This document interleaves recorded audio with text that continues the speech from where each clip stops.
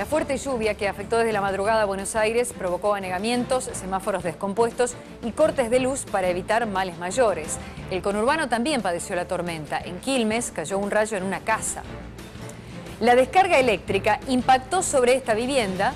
Afortunadamente no causó heridos porque en ese momento no había nadie en la planta alta, pero destrozó el alero y la losa.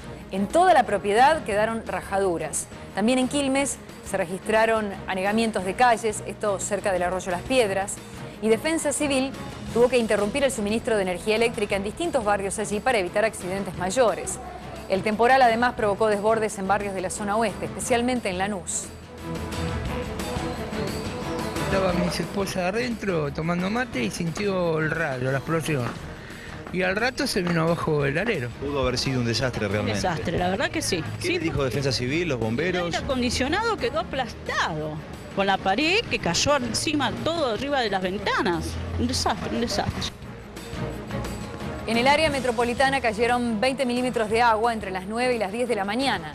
La lluvia, que había comenzado a las 8 con ráfagas de viento muy fuerte, provocó la caída de ramas en distintos barrios y anegamiento de calles por sumideros tapados. La avenida General Paz estuvo cortada durante media hora a la altura de San Martín porque el asfalto había sido cubierto por el agua. También quedaron fuera de servicio los semáforos de por lo menos 10 esquinas de la ciudad.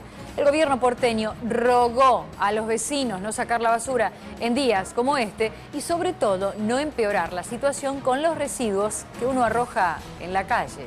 Lo sorprendente es que en la limpieza de sumideros sacamos 16 botellas plásticas con cestos de basuras a 4 metros de distancia. La verdad que esos son los hábitos que tenemos que cambiar, más allá de estas tormentas climáticas son complicadas.